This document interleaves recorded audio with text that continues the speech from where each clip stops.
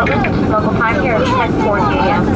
Please remain in your seat with your seatbelt securely fastened until the plane comes to a full and complete stop at our gate and the captain's turned off the fast seatbelt sign. Once that sign's turned off, you're free to get up, retrieve your carry-ons, and exit the aircraft. We'll be leaving through the forward door, the same door that you entered. Please watch your step. Proceed directly into the terminal. There'll be a customer service agent getting our flight if you have any questions.